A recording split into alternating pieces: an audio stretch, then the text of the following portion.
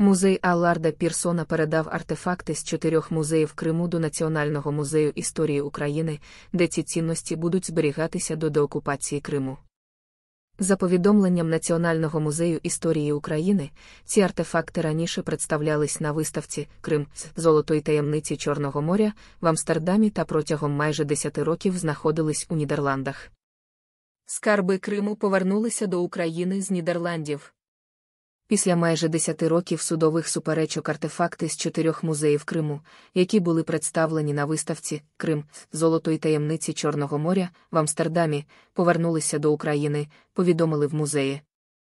Генеральний директор Національного музею історії України Федір Андрощук заявив, що музей зробить усе можливе для збереження цих цінностей, і вказав, що музей був визначений як місце зберігання колекцій кримських музеїв під час юридичних суперечок. Він наголосив, що стан колекції тепер буде високо оцінений світом, а відповідальність за її безпеку та економічну підтримку лежить на тих, хто брав участь у політичному рішенні щодо повернення колекції в Україну.